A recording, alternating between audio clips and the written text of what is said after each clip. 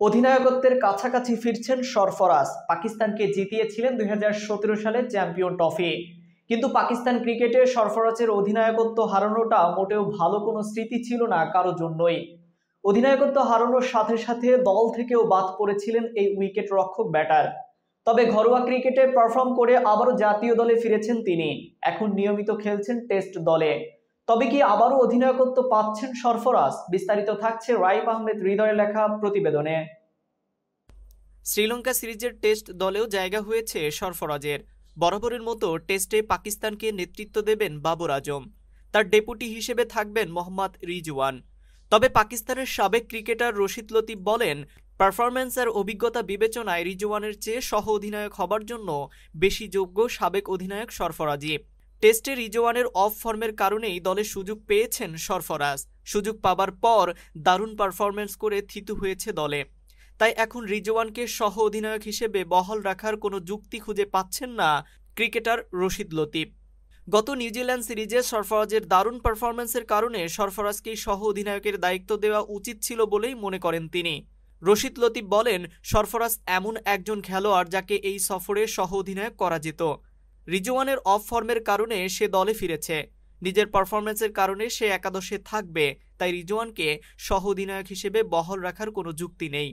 আমার মতে বাবরের সব ফর্মেটে অধিনায়কত্ব করা উচিত। যাই হোক, কাউকেই কোনো বাড়তি সুযোগ দেওয়া উচিত নয়। যদি কেউ নেতৃত্বের জায়গাটায় সুযোগ প্রাপ্য হয়ে থাকে, সেটা একমাত্র সরফরাজ ছাড়া আর কেউ নেই। অন্যদিকে লাল বলের ক্রিকেটে মোটেও হাসছে না রিজওয়ানের ব্যাট তার সর্বশেষ খেলা ইংল্যান্ডের বিপক্ষে হোম সিরিজে ছয় ইনিংসে তেইশ দশমিক পঞ্চাশ গড়ে একশো একচল্লিশ রান করেন। পুরো সিরিজে কোনো ফিফটি আসেনি রিজওয়ানের ব্যাট থেকে, তাই মূল একাদশেই যেখানে রিজওয়ানের জায়গা নিয়ে আছে সন্দেহ, সেখানে তাকে সহ অধিনায়ক করার কোনো মানেই খুঁজে পাচ্ছেন না রশিদ। এদিকে অমিত সম্ভাবনা নিয়ে পাকিস্তান ক্রিকেটে আবির্ভাব হয়েছিল উমর আকমালের, কিন্তু সেই সম্ভাবনার মৃত্যু হয়েছে অঙ্কুরেই। বাজে ফর্মের কারণে জাতীয় দল থেকে বাদ পড়া উমর এবার আবারও পারফর্ম দিয়েই ফিরতে চান জাতীয় দলে। পাকিস্তানের এক স্থানীয় গণমাধ্যমে দেওয়া সাক্ষাৎকারে উমর জানান, তার মতে যারাই পাকিস্তানের জাতীয় দলে জায়গা করে নিয়েছে, প্রত্যেকের পারফরমেন্সই তার হয়ে কথা বলছে।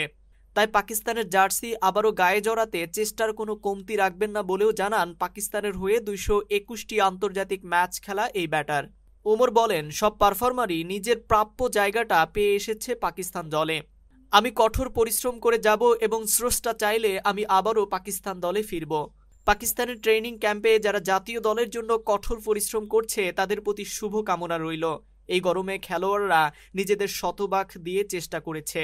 সামনেই শুরু হতে যাওয়া লঙ্কা প্রিমিয়ার লিগের নিলামেও নাম দিয়েছেন ওমর আকমাল, যদিও নিলাম থেকে কোনো দলই তার উপর আগ্রহ হারায়নি। তবে হাল ছাড়ার পাত্র নয় ওমর আকমাল।